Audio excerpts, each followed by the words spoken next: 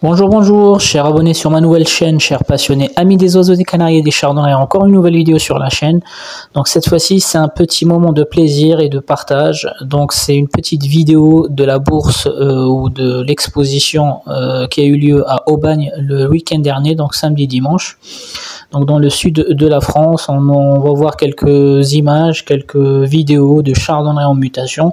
Premièrement, ça fait plaisir de revoir les chardonnerets majeurs en mutation dans les bourses, dans les euh, marchés en plein air en France, parce que ça fait un moment qu'on les a perdus de vue euh, à cause du, euh, de la situation sanitaire.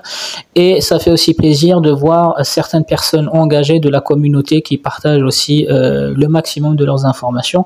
Donc un merci particulier à notre ambassadeur qui s'est déplacé sur place, Alexandre.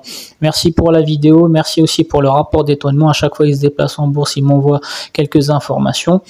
Et je remercie aussi euh, notre vendeur, enfin c'est un joli stand de chardonneret major de bonne qualité aussi.